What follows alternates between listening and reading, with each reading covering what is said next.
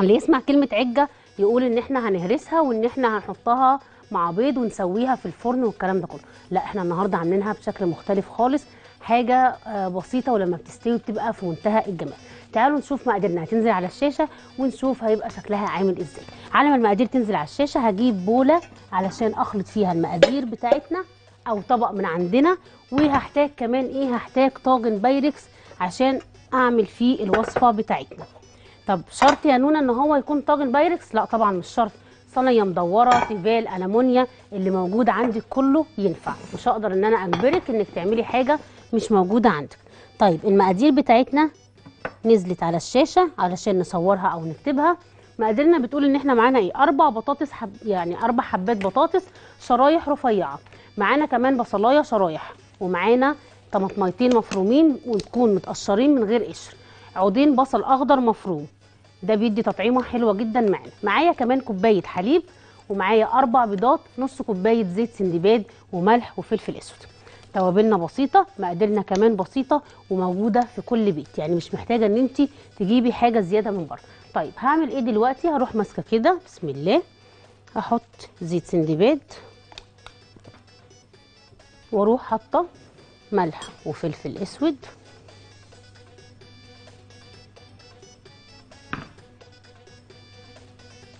كده وأروح حاطة البصل الأخضر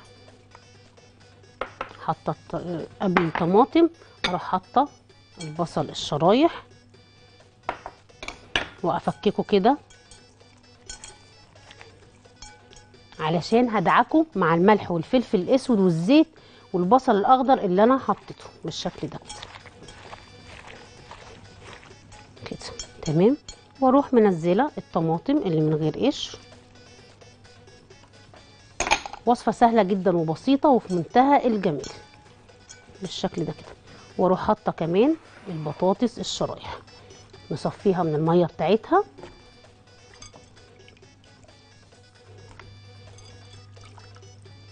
بالشكل ده كده. ونقلبها في الخلطة الجميلة اللي إحنا لسه عاملينها. اللي هي كانت عبارة عن زيت سندباد وملح وفلفل أسود. وبصلايه خضراء متقطعة وطماطم بالشكل ده كده. توابلنا كتير مش كتير وصفوا يعني مقاديرنا كمان كتير مش كتير. كل بيت الحمد لله عندكم الخير كله يا رب موجود فيه الحاجات اللي إحنا عملناها دي. بس نجيب كده الطاجن وابدأ أعمل كده. أرص بقى البطاطس بتاعتنا بشكل كويس علشان لسه لما اصب عليها الحليب والبيض وتستوي تديني برضو شكل كويس. زي ما بيقول كده اهوت وإحنا بنشتغل اهم من الشغل ظبط الشغل. وبرضو ابقى عاملة أكلة حلوة وفي نفس الوقت يبقى شكلها كمان يفتح النفس. بالشكل ده كده.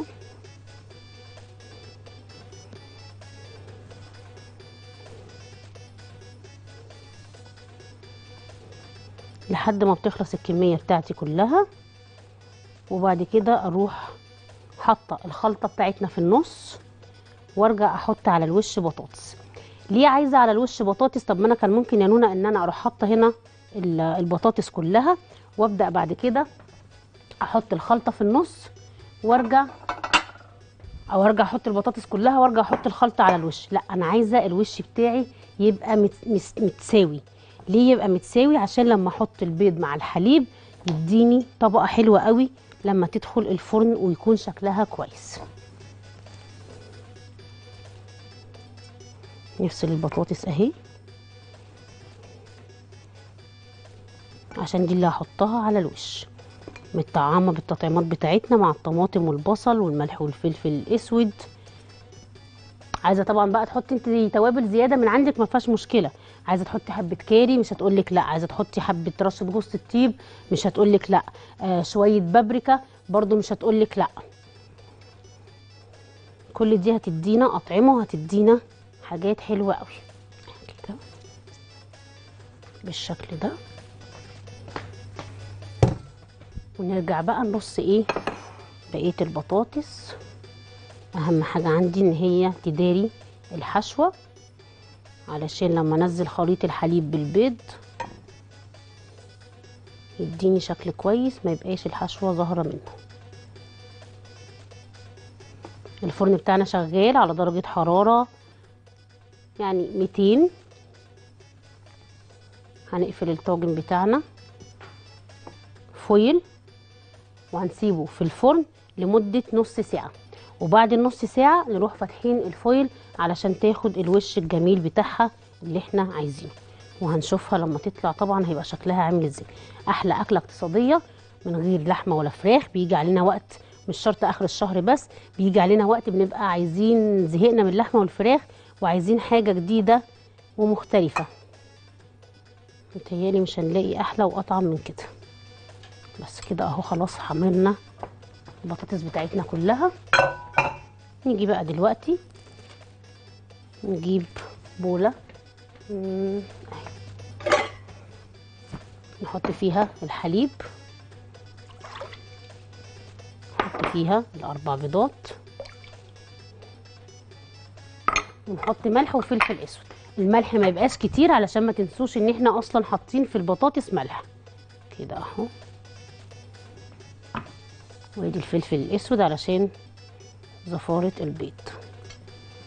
وأربهم كويس قوي بشوكة أو بمضرب سلك.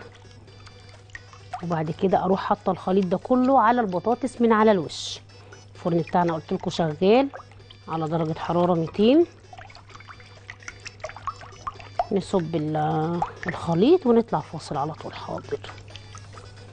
بس بالشكل ده كده. بسم الله الرحمن الرحيم. الحليب بالبيض اللي إحنا حاطيناه ده هو اللي هيمسك البطاطس كلها مع بعضها.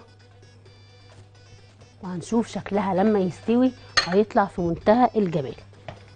محتاجة إيه دلوقتي؟ ألفه foil وأحطه في الفرن درجة حرارة 200 نص ساعة وبعد كده أشيل ال foil من عليه عشان ياخد وش الجميل اللي إحنا عايزينه. عايزة أبص كمان بصة أنا عملت إيه في الفاصل؟ شلت الفويل من على طاجن البطاطس اللي بالحليب والبيض. بصوا. الحليب والبيض بدأ يستوي.